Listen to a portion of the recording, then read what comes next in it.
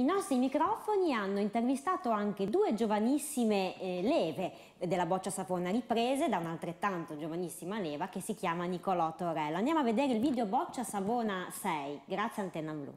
Yeah. Direttamente dalla boccia Savona con due giovanissimi promesse che andiamo subito a presentare. Iniziamo da Alessia Caforio e non salete per dica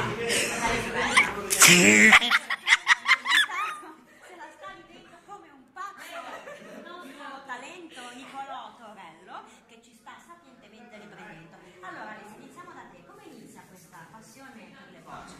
Eh, in realtà mi ha portato lui perché all'inizio sottovalutavo anche questa cosa perché pensavo che fosse semplice, poi invece quando ho iniziato cioè, ce ne vuole per riuscire ad avere una Ma vuole conquistare. Ma come ti sei avvicinata? Tramite la scuola, la famiglia, conoscenze? Allora, perché ha iniziato a giocare con e- a Sant'Ermete e poi dopo un po' di mesi diceva vieni a provare, vieni a provare, allora un giorno sono qua.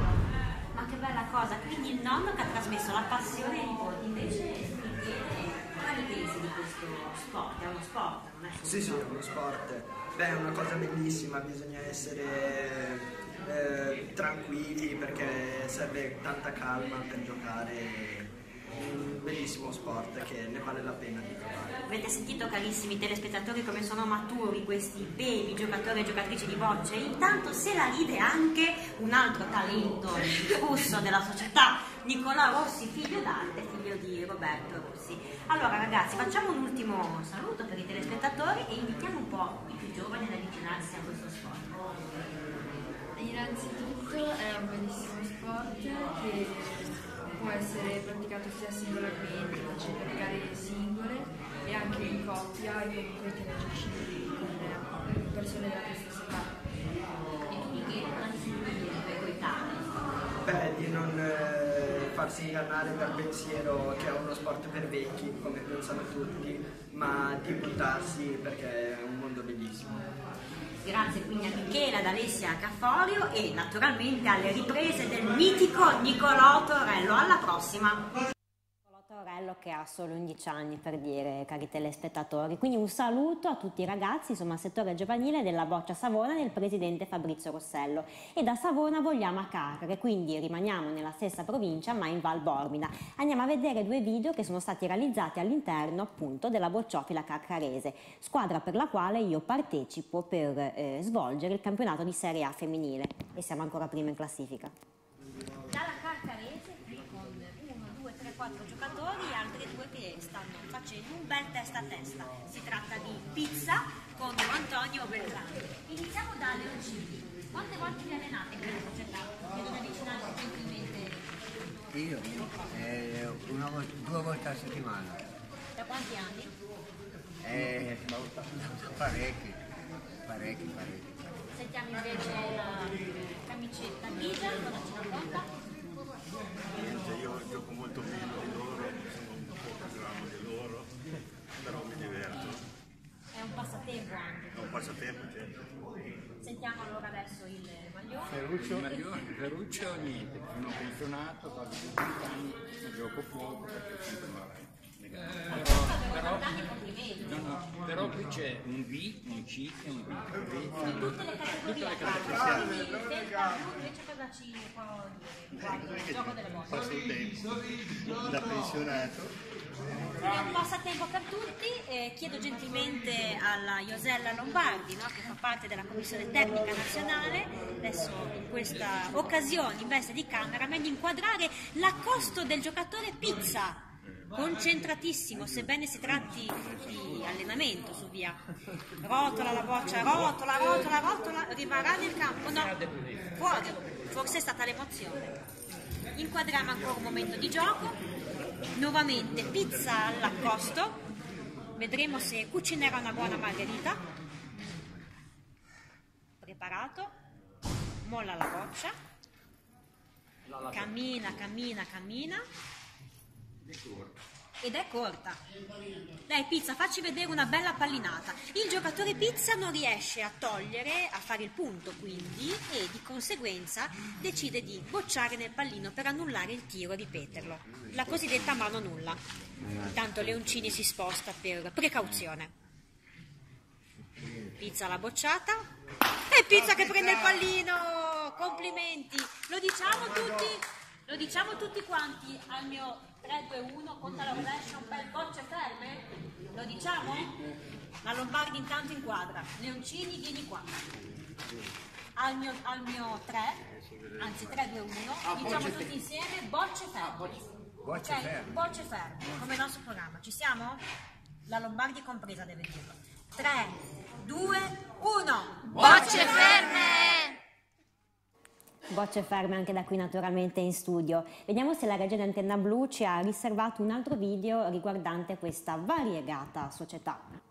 Si gioca anche a Carcare presso la bocciofila carcarese. Andiamo a vedere qualche momento di gioco. Inquadriamo il giocatore che si chiama Felpa Blu, Si chiama Giorgio Pesce, Giorgio Pesce, Siri Giuliano, Leoncini e Luciano. un'istituzione Leoncini qui nella Val Borbida. Due bocce d'accosto, un accostatore. Vediamo la boccia dove prosegue. Leggermente corta. Un altro accosto. E la boccia toglie leggermente dietro al pallino e marcata con la bacchetta dal giocatore. Un'inquadratura sul pubblico, sempre numeroso anche durante le giornate feriali di allenamento, e all'accosto Antonio Beltrami.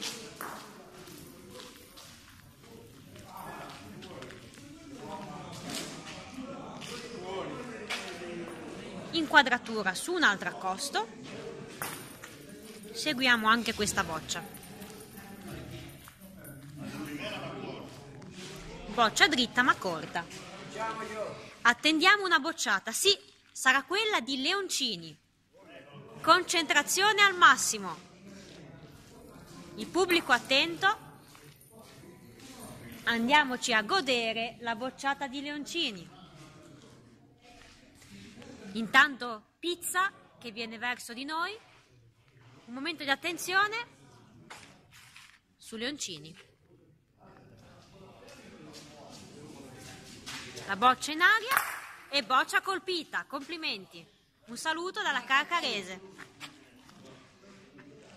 Bene, abbiamo quindi dedicato uno speciale savonese, dalla boccia Savona alla società eh, di Carcare, Val Borghidese. Quindi andiamoci a vedere però adesso, insomma è giunto il momento clou della trasmissione, in quando andiamo a vederci delle foto meravigliose che sono state scattate dal fotografo, possiamo dire ufficiale delle bocce, ovvero Dante Bonino, riguardante che cosa? Riguardanti un risultato strepitoso, strepitoso che è stato ottenuto dalla nazionale italiana Under 23 e Under 18 perché si sono appena conclusi i campionati europei eh, giovanili appunto a Saint-Vulbas in Francia. Eccoci qui con Alex Zoia Friulano, medaglia d'oro nel tiro progressivo, insieme ai genitori, una soddisfazione enorme. Infatti è stata stupenda la prestazione della squadra azzurra Under 18 e Under 23, quindi giovanissime leve, un orgoglio nazionale, un esordio col botto per il CT Enrico Birolo che con la sua esperienza la classe dei ragazzi convocati ai campionati europei volo Under 18 Under 23 a San Bulbà ha centrato, pensate, 5 podi su 6 con un oro e 4 argenti. 3 su 3 negli under 18, un oro, quindi questo di Alex Zoia e due argenti, e, nella- e argento per Samuel Zagnar, anche lui friulano nel tiro di precisione, argento per Stefano Aliberti e Alex Zoia nella staffetta, due podi su tre quindi per l'Under 23, due argenti. Proseguiamo con le immagini, ecco qui eh, i medagliati, qui abbiamo S- Samuel Zagnar eh, sulla sinistra con la medaglia d'argento, quindi equivale al titolo di vice campione europeo. Proseguiamo con le meravigliose foto di Dante e Bonino, vediamo eh, che cosa ci riserva la regia se c'è qualche altra foto. Andiamola a vedere insieme qui il podio eh, che ritrae Zanier sul secondo gradino a sinistra. Complimenti davvero ragazzi, siete il nostro orgoglio. L'esordio quindi del CT Birolo che eh, da pochissimo ehm, investe appunto ehm, questo ruolo così importante. Qui Dario Campana con Zanier, preparatore atletico di livello nazionale un risultato eh, strepitoso a dir poco, anche se l'Italia comunque si comporta sempre meravigliosamente bene eh, nelle competizioni internazionali. Proseguiamo ancora perché fa davvero piacere vedere queste foto. Qui i due friulani, Zoya sulla destra e Zaner eh, sulla sinistra, con al centro il soddisfatto Dario Campana, loro preparatore. Proseguiamo ancora, vediamo cosa Antenna Blu ci ha riservato, un bel podio europeo. Qui eh, sulla sinistra della foto un nostro ospite telefonico, europeo Roberto eh, Favre, che fa parte della Commissione Tecnica Nazionale ed è anche presidente della ehm, Commissione Tecnica Europea, se non sbaglio, mi correggerete se sbaglio. Qui è nuovamente Zoya con i genitori. Proseguiamo ancora. Nuovamente qui Zanier, friulano sulla sinistra con la medaglia d'argento. Ricordiamo che eh, per la nazionale eh, azzurra facevano parte anche lo splendido Matteo Mana, un giocatore veramente dal, dal, talento ineguagliabile, ma anche il piemontese Emanuele Soggetti e l'altrettanto piemontese Stefano Aliberti. Raccoglieremo delle foto per la prossima puntata, insomma, per dare, dare spazio anche ai giovani che hanno conquistato, gli altri giovani che hanno conquistato questo eh, risultato davvero strepitoso. Direi quindi di ritornare in regia e, ehm, inquadratura quindi su di me, sola soletta oggi ma con tanti contributi grazie ad Antenna Blu che attraverso i nostri viaggi itineranti all'interno delle bocciofile locali e non, fa scoprire a casa, anche a chi non fa parte di questo ambiente, il nostro così peculiare mondo. Eh, salutiamo, mh, mm, ho un po' di saluti da fare. Salutiamo, pensate, Costantino Soro che ci segue dalla Sardegna, giocatore di bocce, a Giuliano Cefeo Chiavarese e a suo figlio Matteo Cefeo che milita nella Chiavarese in Serie B, manca Dante Bonino che ci ha fornito queste foto meravigliose, a Paolo Gherardi eh, che eh, fa parte eh, del comitato di Massa Carrara, lo salutiamo, ciao Paolo, e si sta dando molto da fare per promuovere l'attività giovanile all'interno eh, di questo comitato. Ad Enrico Birolo, naturalmente un nuovo CT della Nazionale, a Claudio Gaffoglio che ci segue sempre in diretta streaming da Torino, a Marco Destro del gruppo Amici delle Bocce che è reduce, se non sbaglio Marco, da una bellissima vittoria, a Fabiana Rebora che presto avremo ospite nei nostri studi che si occupa di scrivere articoli sulle bocce e alle società Bolzanetese e Toso di Arenzano. Direi di concludere qui, vi lascio con un video bellissimo eh, di un altro nostro amico, di Marco Gallian, che fa delle foto anche lui stupende, però vi voglio leggere un brevissimo passo del solito libro Scampoli di bocce nel Levante Ligure. Andiamo un po' eh, così, eh, la diretta, e beh, il bello della diretta è anche eh, questo, andiamo a vedere cosa posso trovare, eccolo qui. Effettivamente lo sport vive le sue emozioni e le trasmette agli appassionati che lo seguono, suscitando ammirazione ed entusiasmo per quei campioni che esprimono il massimo delle loro grandi capacità. Bocce Ferve si chiude qui. Come sempre vi do il mio più caro saluto, rinnovo l'appuntamento a lunedì prossimo ore 19.30, un breve resoconto delle nostre repliche, martedì 13.30 e 18.30, sabato 13.30 e domenica alle 11 del mattino e diretta streaming per tutti coloro che abitano fuori regione perché siamo internazionali, poi Antenna Blu, la tv la fai tu.